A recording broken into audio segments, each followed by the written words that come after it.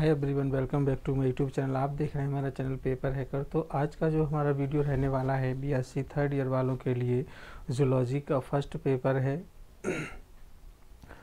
लगातार हमारे चैनल के माध्यम से आप लोगों को important videos, important notes important questions आपको प्रोवाइड कराई जाती हैं।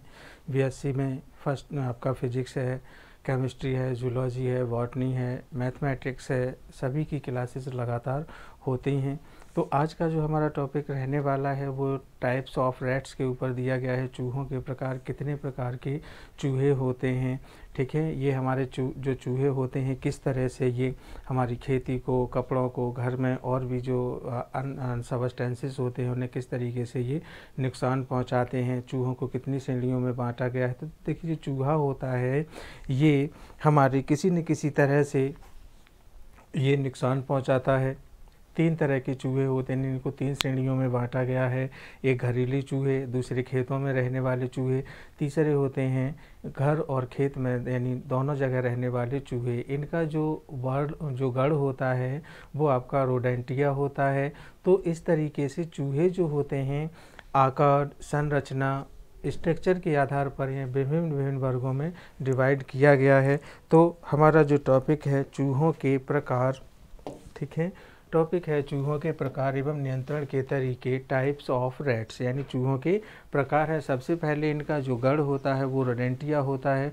रोडेंटिया गढ़ में ही चूहे आते हैं और इनका जो उपकल होता है, उपकुल वो मीरेनेई होता है। तो जो चूहे होते हैं, लगातार ये किसान को हमारे घर में फैक्ट्रीज़ में विभिन्न विभिन्न जगह पर जहाँ पर कुछ सामग्री उत्पन्न होती है वहाँ पर ये कुछ न कुछ नुकसान कुछ न कुछ हार्म ज़रूर पहुँचाते हैं। इन्हें तीन श्रेणियों में बांटा गया है घरेलू चूहे खेतों में रहने वाले घर और खेतों में रहने वाले दोनों तरह के चूहे। तो इनकी आ, कुछ आ, अलग अलग इन्हें डिवाइड किया गया है। इनकी कुछ प्रजातियाँ हैं चूहों की जैसे मान लीजिए एक प्रजाति है, इसकी वैंडीकूट चूहा, ठीक है? जो वैंडीकूट चूहा होता है अब इसकी जो पूछ होती है, वो छोटी होती है, परंतु साइज़ में ये बैडीकूट चूहा जो होता है, वो बहुत बड़ा, यानी चूहों की जितनी प्रजाति होती है, सबसे बड़ा बैडीकूट चूहा होता है, पूछ छोटी होती है साइज़ इसका बहुत बड़ा होता है। आपने देखा होगा घरेलू चूहे, ये तो नॉर्मल बात है, ये तो सभी घरों में देखने को लगा, लगभग मिलते हैं रेड्स रेड्स के नाम से जानते हैं। ये बिल का निर्माण करते हैं, बिल में रहते हैं, इनका रंग भूरा और पूँछ लंबी होती है। ये चूहे आपने देखे हैं? घर में होते हैं, ज़्यादातर घरेलू चूहों में, पक्के मकानों में कम होते हैं, लेकिन जो कच्चे मकान होते हैं विदाउट फ्लोर वाले, उनमें देखने को मिलते हैं। पूँछ लंबी होती है, रंग भूरे कलर का होता है, ठीक है?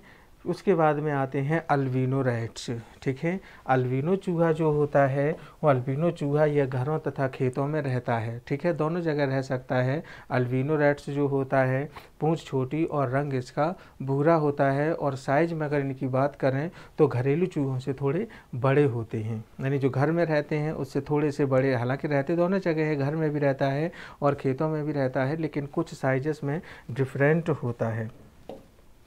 फिर आता है तीसरा जो होता है छोटी पूँछ वाला चूहा। अब छोटी पूँछ वाला जो चूहा होता है, ये पाया जाता है, ज़्यादातर बगीचों में मिलेगा, लॉन में मिलेगा। इसकी पूँछ जो होती है, वो छोटी होती है, अपेक्षाकृत। इसीलिए इसका नाम छोटी पूँछ वाला चूहा रखा गया है। पूँछ ज़्यादातर इसकी देखने को मिलेगी तो आपको छोटी मिलेगी। लॉन्स में या बगीचे में ही ये ज़्यादातर रहते हैं। भारतीय गर्बिल चूहा यानी जो भारतीय इंडियन गर्बिल रैट्स जो होते हैं, ये भी अलग थोड़ी इनकी जो स्ट्रक्चर होती है, कुछ अलग टाइप की होती है। जैसे पूँछ जो इनकी जो चूहे होते हैं, जो भारतीय गर्बिल चूहे होते हैं, ज़्यादातर वो जंगलों में पाए जाते हैं और ये कूदने में बहुत ही एक्टिव होते हैं, बहुत तेज़ी से छलांग लगाते हैं गर्बिल इंडियन गर्बिल जो रैट्स होते हैं।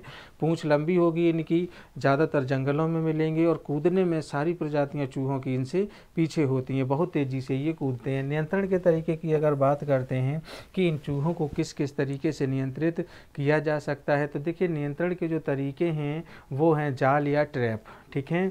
या तो जाल का यूज़ करें या फिर ट्रैप का यूज़ करें। तो ट्रैप जो होता है, देखिए ट्रैप एक ऐसी मैकेनिज्म है कि ट्रैप लिक्विड उस पर लगा होता है वो चूहों को अपनी तरफ़ अट्रैक्ट करता है। जब उस पर से चूहा होकर गुजरेगा तो चूहा उस पर चिपक जाता है नहीं छुट नहीं पाता है। कुछ उसमें ग्लू टाइप का लगा होता है जो चूहों के पैरों को उसके बॉडी को चिपका लेता है अपने आप में। चूहा वहीं पर चिपका चिपका उसी ट्रैप पर मर जाता है। तो वो तो एक ट्रैप मैथड हुई। दूसरी होती है जाल। जाल यानी चूहों को पकड़ने के लिए घर में पिंजरे आदि का यूज़ करते हैं तो उस विधि से भी चूहों को पकड़ा जा सकता है। उसके बाद में आ, आ जाता है Y. Ultrasonic waves. Ultrasonic waves जो होती हैं, अल्ट्रासोनिक वेव्स के द्वारा भी चूहों को पकड़ने, पकड़ा जा सकता है और इनसे चूहों को कोई हानि नहीं हो सकती, कहीं बाहर जाकर इन्हें छोड़ दिया जाता है, जो अल्ट्रासोनिक तरंगें होती हैं, इसके द्वारा भी चूहे पकड़े जा सकते हैं। अल्ट्रासोनिक जो वेव्स जो होती हैं, वो चूहों को अपनी ओर आकर्षित करती हैं और उन्हें वहाँ पर कैद करके रखती हैं, फिर इन्हें कहीं बाहर दूसरी जगह छोड़ दिया जाता है। इस विधि में चूहों को कोई हानि नहीं पहुँचती है।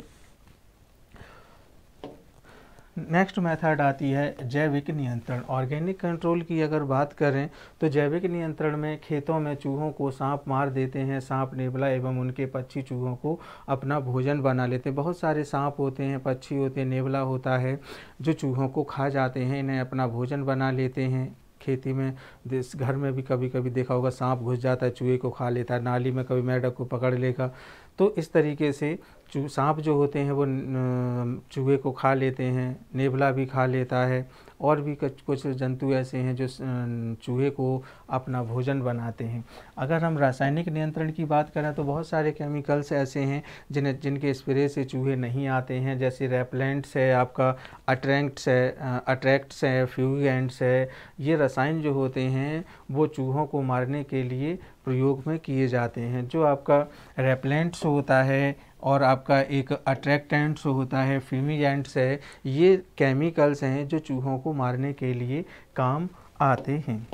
अब संवर्धन नियंत्रण की अगर हम बात करते हैं, इसका जो संवर्धन नियंत्रण है, वो किस, देखिए संवर्धन नियंत्रण जो होता है, संवर्धन नियंत्रण फ़सलों की बुआई तथा कटाई।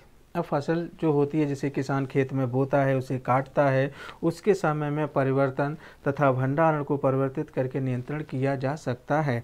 मान लीजिए फ़सल की बुआई है और फ़सल की कटाई यानी फ़सल की बुआई से लेकर फ़सल की कटाई तक लग, लगातार उसमें चूहे पनपते रहते हैं पैदा होते रहते हैं फ़सल की कटाई जब होती है तो उसको डिफरेंट जगह पर रखना चाहिए। ज़्यादा लंबे समय तक एक जगह रखी रहेगी तो उसमें चूहे पनप जाएँगे। अगर उनके स्टोरेज की बात करें भंडारण ग्रहों की बात करें तो परिवर्तन करके उसमें जगह स्टोर किया जाए अनाज को तो वहाँ से भी चूहों की हानि से ये बच सकते हैं। लगातार हमारे चैनल के माध्यम से आप लोगों को जो वीडियो प्रोवाइड कराई जाती हैं, बहुत ही ज़्यादा इंपॉर्टेंट होती हैं। नोट्स जिन स्टूडेंट्स को चाहिए डिस्क्रिप्शन बॉक्स में लिंक दिया हुआ फॉलो कीजिए, आपको नोट्स भी मिल जाएँगे। लगातार हमारे चैनल को देखते रहिए। अगला जो हमारा टॉपिक होगा, वो कीटनाशक, कीट कीट कीटनाशक के ऊपर होगा इम्पोर्टेंट है। तब तक देखते रहिए हमारा चैनल पेपर हैकर।